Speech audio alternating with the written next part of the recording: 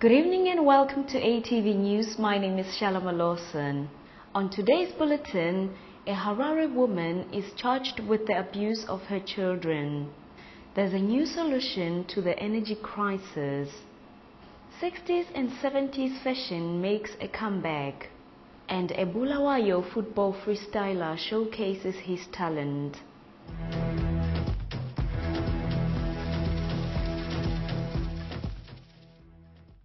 Harare woman has been charged with neglect and the ill treatment of her stepchildren, whom she assaulted and starved, resulting in one of them suffering from kwashiorkor. Our reporter Mujaneta Chimuka gives us more.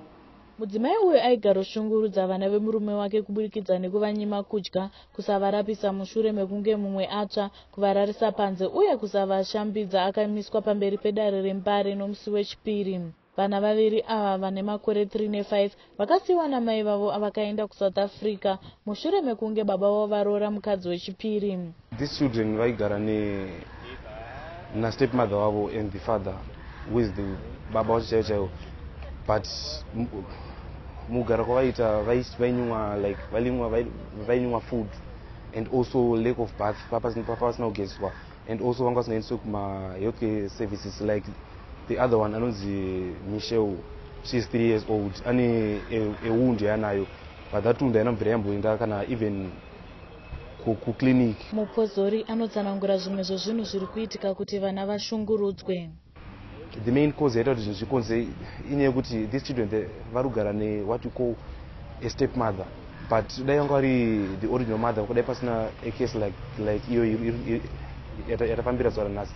So i urge all the families kuti divorce is something which is bad and it kills vana kukura kwavanoita and also it affects the nation as a whole.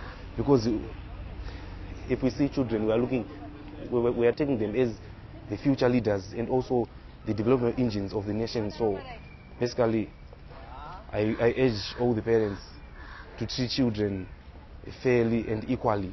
Vana ava vakange vachishungurudzwa kwenguva ndefu zvakaita kuti sangano renest ripindire on our researches we found out that there are children who are living in, in whitecliff who are being abused verbally and also they are being denied the right to food and right to medical services. So we brought this case to, to the court of justice so that we might find a solution as an organization and also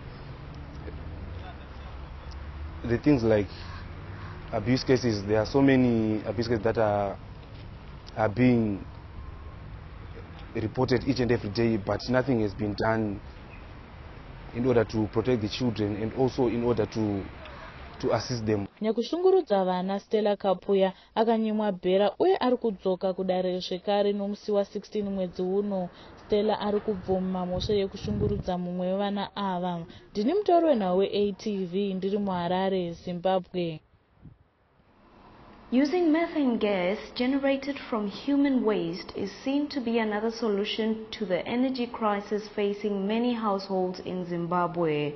Robert Tafumane gives us the report. A local engineer is now manufacturing biodigesters that can produce 10 cubic meters of methane gas from human waste, enough to provide energy to light a two-plate stove, five lights and a heater. Dr. Ephraim Ngiri says the use of renewable energy technologies has a potential to help the country to save energy and replace the use of paraffin and firewood. We then came up with uh, the idea of uh, the biogas digester after recognizing that we have plenty of degradable biomass in the country. Abattoirs, crows in the rural areas, uh, human waste. So we then came up with the idea of promoting, developing a market for the biogas digestion technology. The engineer also says that food security can be enhanced through adoption of integrated farming systems powered by renewable energy. You can use that as rich organic matter, bringing, taking it back into the soil. You can begin a mushroom project because it's a rich substrate for mushroom production. Harare Beds fermentation technician Hubert Kazingizi says affordable renewable energy technologies can also help in the fight against contagious diseases caused by lack of proper waste management. If this project picks up, this should involve even the town planners. We should plan also taking in cognizance that anaerobic fermentation is known worldwide to be the only way you can manage sewage.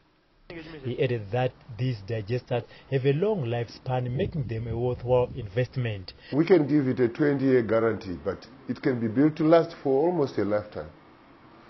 Uh, because it's, it's actually engineering work. It's built very strongly. A biodigester costs anything from $1,000 for a 4 cubic meter or more depending on the size. Electricity supplies to most households in Zimbabwe are erratic and moves to harness human waste to produce methane gas can go a long way in helping to solve the country's energy crisis.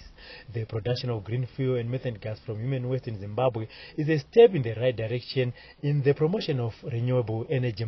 Reporting for ATV, Robert Tafumane, Harare, Zimbabwe. Fashion enthusiasts in Bulawayo were recently treated to a rare spectacle as 60s and 70s clothing went on display at the Bulawayo Art Gallery. Selu Mhlanga reports. umbukiso wenzelwa e-national arts gallery wakhumbuza izakhamizi zakobulawayo ngobuhle bempahla zendulo ezake zaba lodumo kudala lokhu kwenza ukuthi abaningi babone umehluko omkhulu okhona kulezo mpahla zendulo nxa seziqathaniswa lokugqoka kwalezi nsuku yaiko zvino izvi chayakaipira vanopfeka matight matight fit aya matight fit aya akaipa anotaridza muviri womunhu wese kule yakathesi ngoba yakudala yayelesimilo ayifanani leyakathesi ukuthi abantu sebehamba nqunu dala wawugqoka into la ubona ukuthi umama ugqokile kathesi umama sephonguhamba nje nqunu ubona umama behamba begqoka ini amalegini lawo umuntu omdala ubona yani begqoka ilegini but ukugqoka kwakudala mbonani kwakuhle kwakutheli inhlonipho. Okusenza umuntu ehlonipheke vele lanxa ehamba.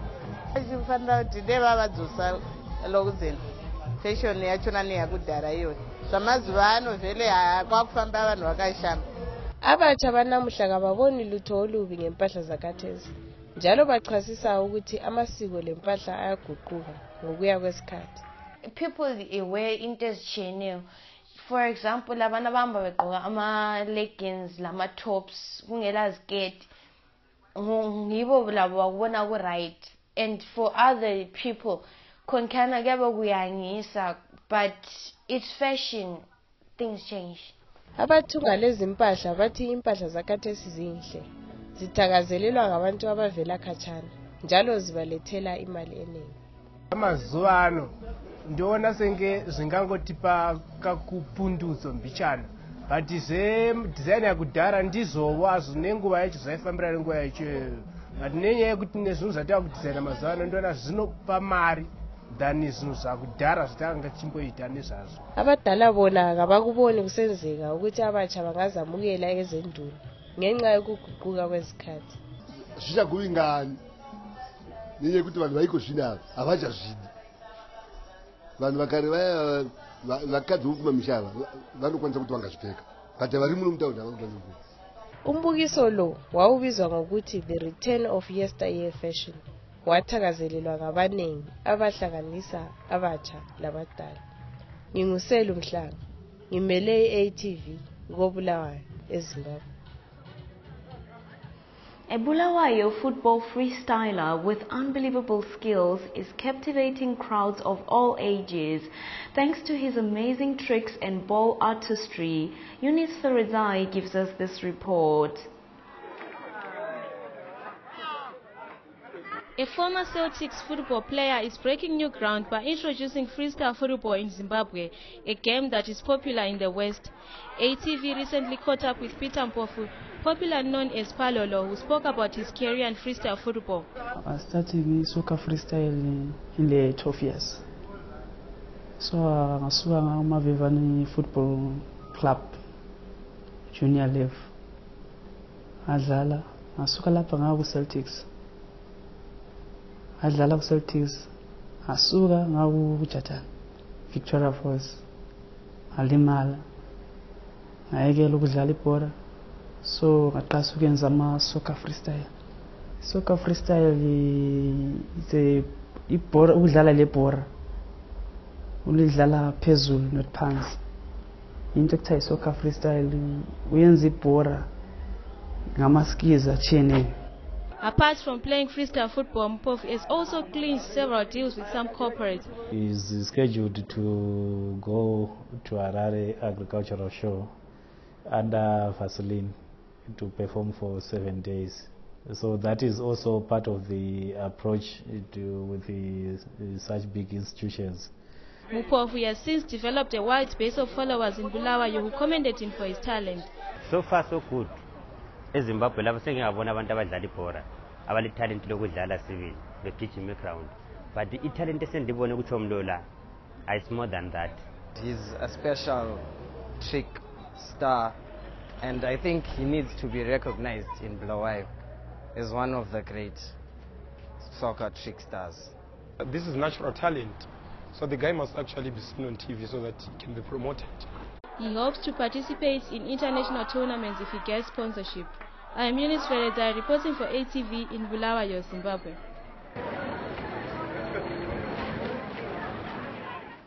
Thank you for joining us. Good night.